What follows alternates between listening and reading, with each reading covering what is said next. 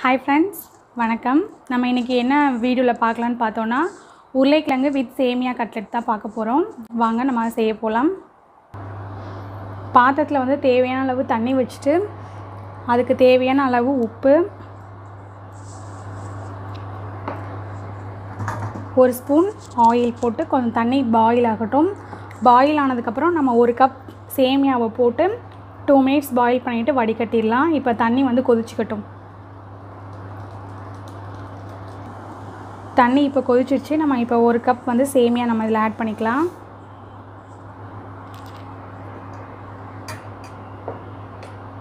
Add பண்ணியாச்சு. இப்போ ரெண்டு நிமிஷம் வந்து நம்ம மூடி போட்டு மூடி வச்சுட்டு வடிகட்டிடலாம்.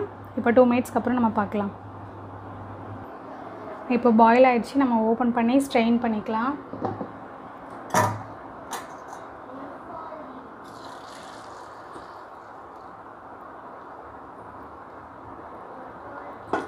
ஒரு ரெண்டு நிமிஷம் நம்ம கூலானதுக்கப்புறம் நம்ம மிக்ஸ் பண்ண ஆரம்பிச்சிடலாம். இப்போ நம்ம பவுலுக்கு ட்ரான்ஸ்ஃபர் பண்ணிக்கலாம். பாயில் பண்ண சேமியாவை. நெக்ஸ்ட்டு இது கூடவே நெக்ஸ்ட்டு ரெண்டு ஸ்பூன் மைதா.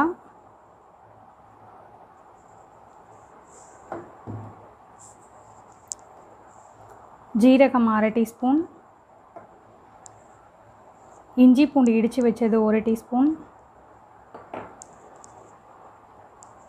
காரத்துக்கு தகுந்த மாதிரி chilli powder. Garam masala half teaspoon.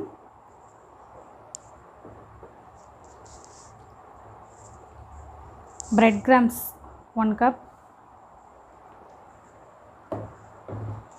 வேக வச்சு மசிச்சு வச்ச உருளைக்கிழங்கு ரெண்டு பெரிய சைஸ் எடுத்து வச்சுருக்கேன். அதையும் நம்ம இது கூட ஆட் பண்ணிக்கலாம். அதுக்கப்புறம் டேஸ்ட்டுக்கு ஃப்ளேவருக்காக நம்ம கொத்தமல்லி தேவையான அளவு. அப்புறம் இந்த டிஷ்ஷுக்கு தேவையான உப்பு.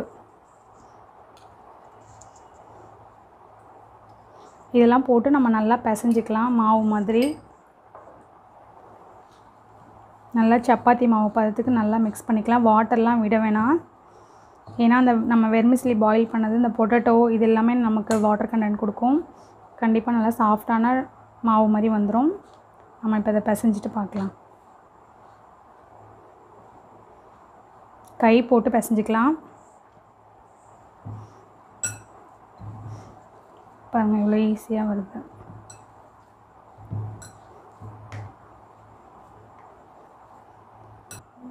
இப்போ நம்ம மாவு பிசைஞ்சாச்சு. நெக்ஸ்ட்டு இது நம்ம கோட்டி கொடுக்கறதுக்காக ரா வெர்மிசிலி வந்து ஒரு பவுல் கொஞ்சம் எடுத்து வச்சுருக்கேன். நீங்கள் தேவையான அளவு எடுத்து வச்சுக்கோங்க. அது கூடவே நம்ம ஒரு பவுலில் வந்து தேவையான அளவு வாட்டர் விட்டுட்டு பைண்டிங் ஏஜென்ட்காக அப்போ தான் நல்லா வந்து கோட் ஆகி பிரியாமல் எண்ணெய் எண்ணெயில் பிரியாமல் வரும். ரெண்டு ஸ்பூன் ரெண்டுலேருந்து உங்களுக்கு எவ்வளோ திக் கன்சிஸ்டன்சி வேணுமோ அந்த அளவுக்கு ரெண்டுலேருந்து மூணு ஸ்பூன் மைதா போட்டு அது கூடவே தேவையான அளவு ஒரு பிஞ்ச் உப்பு கொஞ்சம் ஃப்ளேவருக்காக கால் டீஸ்பூன் கரம் மசாலா போட்டு நம்ம மிக்ஸ் பண்ணி வச்சுக்கலாம் கட்டி இல்லாமல்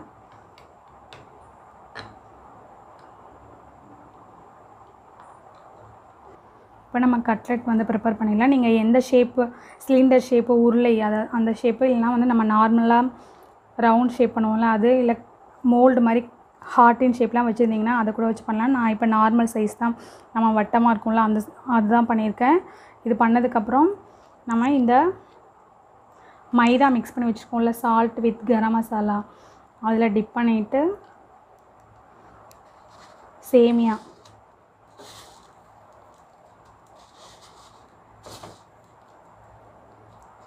டிப் பண்ணி நம்ம எல்லாத்துலேயும் இந்த பிளேட்டில் வந்து ஃபஸ்ட்டு எடுத்து வச்சிடலாம். எடுத்து வச்சதுக்கப்புறம் நம்ம பார்க்கலாம். எல்லாமே எல்லா மாவையுமே இதே மாதிரி நம்ம மைதாவில் டிப் பண்ணிவிட்டு சேமியாவில் கோட்டிங் பண்ணி இது மாதிரி நம்ம பிளேட்டில் ஃபஸ்ட்டு எடுத்து வச்சுட்டு அப்புறம் எண்ணெயில் போட்டு பொரிக்க ஈஸியாக இருக்கும். இப்போ நம்ம வந்து அந்த பொட்டேட்டோ வித் வெர்மிசிலி பேஸ்ட்டை வந்து மைதா மாவு கோட்டிங் ப்ளஸ் சேமியா கோட்டிங் போட்டு எடுத்தாச்சு. நம்ம இப்போ எண்ணெய் வந்து நான் ஏற்கனவே சூடு பண்ணியிருக்கேன். சூடாயிடுச்சு. சூடாயிடுச்சு. நம்ம அதில் போட்டு எடுத்துடலாம். இது குழந்தைங்களுக்கு ரொம்பவே பிடிக்கும். நல்லா கிறிஸ்பியாக இருக்கும்.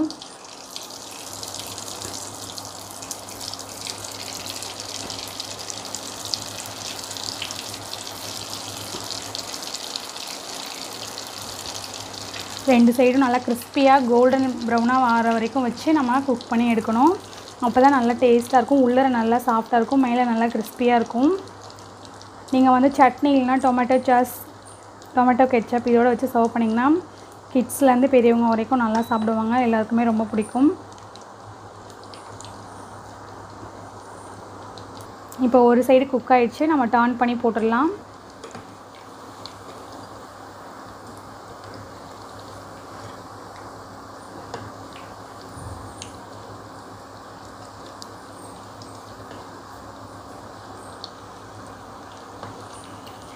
இப்போ டேர்ன் பண்ணி போட்டு இந்த சைடும் ஒரு ஃபைவ் டு செவன் மினிட்ஸ் நல்லா குக் ஆகட்டும். நல்லா கோல்டன் ப்ரௌனாக கிறிஸ்பியாக வரட்டும். நம்ம நெக்ஸ்ட்டு பாத்திரத்துக்கு ட்ரான்ஸ்ஃபர் பண்ணிடலாம். இப்போ ரெண்டு சைடும் நல்லா கோல்டன் ப்ரௌன் ஆகிடுச்சு நல்லா குக் ஆகிடுச்சு இப்போ நம்ம இதை எடுத்துடலாம்.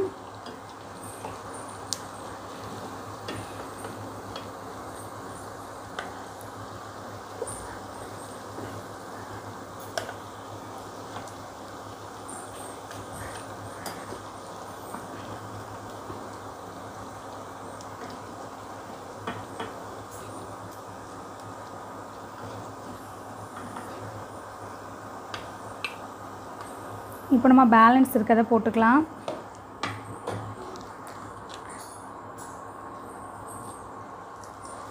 நான் வந்து கொஞ்சம் வந்து வித்தவுட் வெர்மிஸ்லியாக ரோல் பண்ணி வச்சுருக்கேன். அதையும் போட்டுக்கலாம்.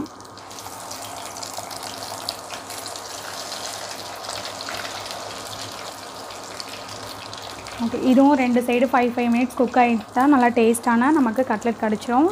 நம்ம லாஸ்ட்டாக டிஸ்ப்ளே பண்ணுறதை பார்க்கலாம். இப்போ நம்ம சாப்பிட்றதுக்கு வந்து எடுத்து வச்சாச்சு.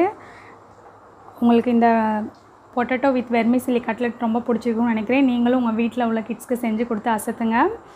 நம்ம வீடியோவை இப்போ தான் ஃபஸ்ட் டைம் பார்க்குறீங்கன்னா சப்ஸ்கிரைப் பண்ணுங்கள் நம்ம இன்னொரு வீடியோவில் பார்க்கலாம். பாய்